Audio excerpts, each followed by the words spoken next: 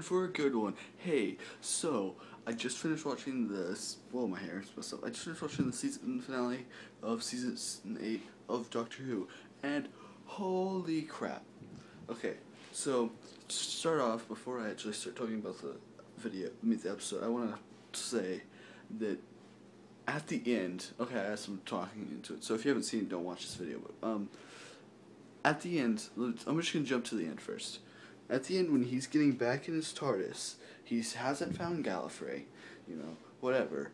I, I can't be the only person that wanted him to do a War Doctor thing, walk in the TARDIS, and regenerate. That would have been, in my opinion, the best thing. I, um, so, just another thing to say, they did get rid of Clara in this, kind of. I don't think that was a smart move the way they did it. Oh yeah, let's lie. No, they should have killed her. And of course, it's going to be in the Christmas special, as you see at the end.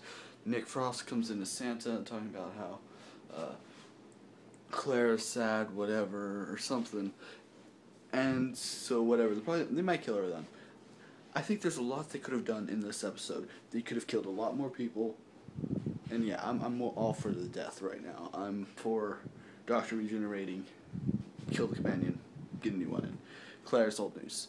So is this Doctor. This Doctor, I mean, I love him so far, but I mean, I feel like he could be a Christopher Eccleston with this. Like, for all we know, at the Christmas special, they may just kill him off. But I'm saying, I feel like he would be a really good one, like the Ninth Doctor. In one season, he's really good. Everybody's like, whoa! And he's gone. I feel like that's how it should be. But um, about this episode though, I'm so, I'm confused and annoyed. I'm annoyed because things on this. I just, I don't know. I don't like the idea that the master was a girl. I've said that before. I thought it added a bit of a bad twist to it. The master, whatever. I don't think they should switch genders. So this is not trying to be sexist. I'm just trying to say, I don't think they should switch genders with it. But yeah, they killed the master off once and for all. Now, of course, they did that three times in the modern series alone. Three times. This is the third. Is the master seriously dead? I don't know. I hope so. I'm sick of beating a dead horse.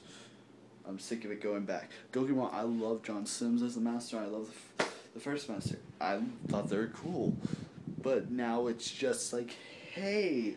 It's like talking to a dog here that's dead. It's like, hey, get up, let's go play. Come on. Come on, let's go play. It's stupid.